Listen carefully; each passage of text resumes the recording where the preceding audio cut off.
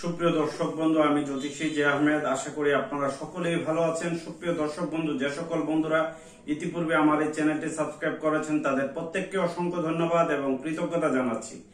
এখনও যে সকল বন্ধুরা আমার এই চ্যানেলটি সাবস্ক্রাইব করেনি তাদেরকে বিনীত আহ্বান জানাচ্ছি আমার এই চ্যানেলটি সাবস্ক্রাইব করার জন্য, পাশে থাকা অল বেল আইকনটি প্রেস করার জন্য, যাতে আমার পরবর্তী সকল ভিডিও সবাই আগে দেখতে পারেন। সুপ্রিয় দর্শক বন্ধু, আমার ভিডিও ভালো লেগে থাকলে ভিডিওটি শেয়ার করবেন।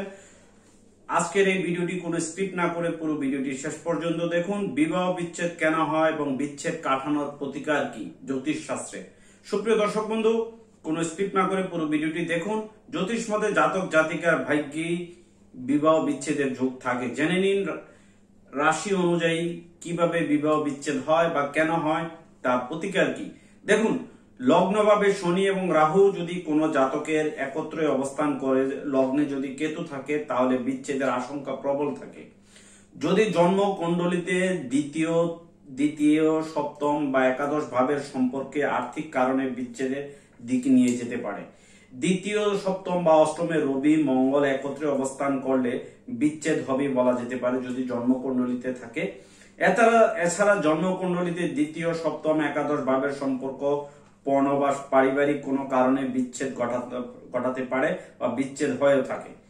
সপ্তম ভাবে দ্বাদশপতি মঙ্গল, শনি, রাহু অবস্থিত হলে বিচ্ছেদ হওয়ার প্রবল আশঙ্কা থাকে। অষ্টম ভাবে মঙ্গল অবস্থিত হলে ওই জাতক, ওই স্থানে যদি কোনো শনি এবং রাহু একত্রিত বসা থাকে, তাহলে সেই জাতক বা জাতিকার বিবাহ বিচ্ছেদ ঘটতে পারে।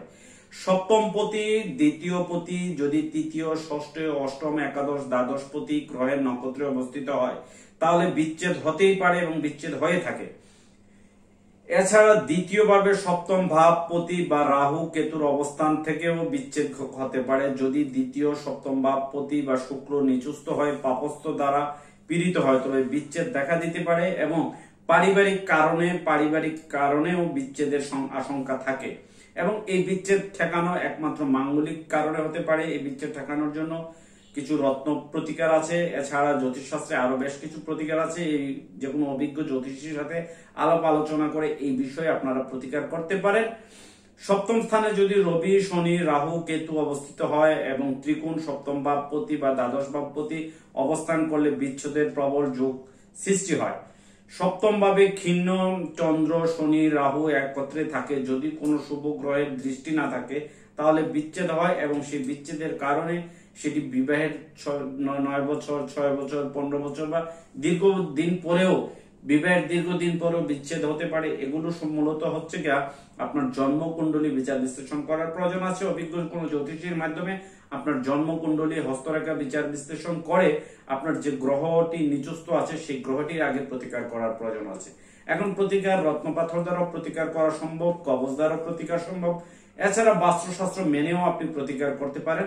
আগে দেখতে হবে আপনার গ্রহটি কোন ঘরে অবস্থানে আছে।